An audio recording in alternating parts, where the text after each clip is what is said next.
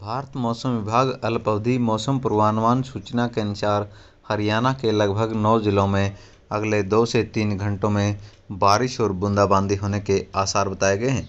मौसम पूर्वानुमान सूचना के अनुसार हरियाणा प्रदेश के जिला भिवानी चरखी दादरी झज्जर महेंद्रगढ़, रेवाड़ी, पलवल, फरीदाबाद, मेवात, गुरुग्राम आदि ज़िलों में व इसके आसपास के क्षेत्रों में, अगले दो से तीन घंटों में कुछ एक स्थानों पर तेज़ हवाओं व गरज चमक के साथ बूंदाबांदी या हल्की बारिश होने की संभावना जताई गई है। इसलिए किसान भाई अगर बिजाई कर रहे हैं तो इसे ध्यान में ज़रूर रखें।